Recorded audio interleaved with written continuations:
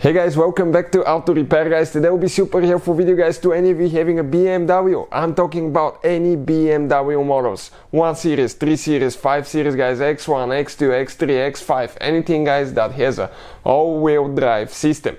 I mean, you're talking about BMW X Drive in this case. So Today we'll be talking about the symptoms of a bad front drive shaft guys, how to know you have a bad front drive shaft on BMW and what you can expect if it goes bad.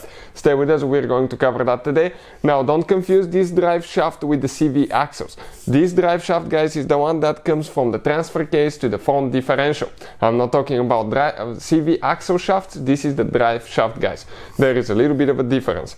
You don't have a boot and it's a little bit of a different device as well. So before we start, let me tell you guys something. Okay, uh, all the tools and parts that we use in our videos, we try to share the link in the description of the video below and you can see where we get all our tools and parts from.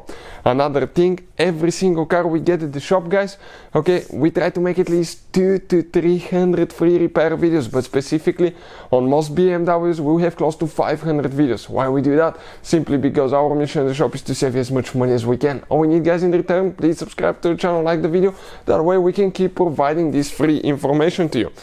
Now, uh, I want to actually even share something else, guys. If you have a BMW with N20, N26 engine, you may know that some of them are affected by a failing timing chain and that can cost you five to ten thousand dollars. We're doing a timing chain replacement on this one that has only seventy thousand miles, and here is another one that failed at eighty-seven thousand miles on a BMW with that engine. So if you have one, I'll put the link in the description of the video below to the video that explains how to replace timing chain, and another video that explains which vehicles are affected with the faulty chain components. So this is guys your drive shaft now. Okay, that's what it looks like. And now, if you have a bigger vehicle, probably it will be a, uh, a bigger drive shaft, longer one as well. This is out of a 3 Series, as you can see. It says F30 right here. But the symptoms, guys. Okay, you can see you have bearings in that drive shaft. On each side, you have eight, uh, four bearings. One, two, three. On the other side, four.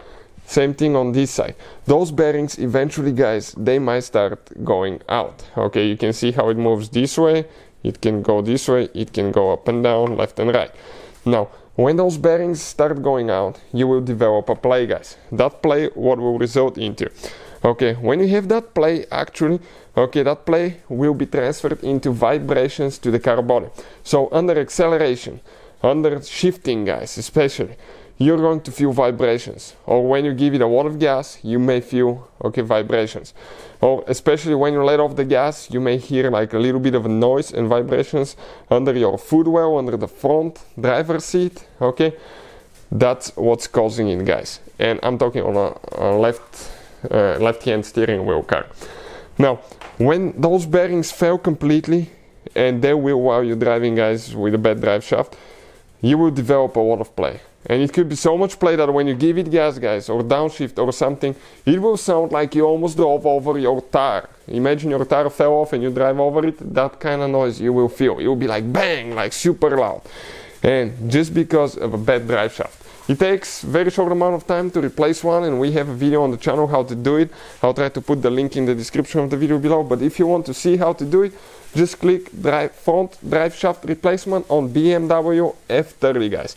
Another thing guys, if you have BMWs, check this channel out. All these are our channels, but this channel specifically, Electrical Car Repair Life, you can find so much helpful information about diagnostics, testing uh, electrical components, fuses, relays, fixing engine light, airbag light, and things like that. So hopefully the video will be helpful to any of you having problem with the drive shaft. Thank you for watching, please subscribe and see you guys next time.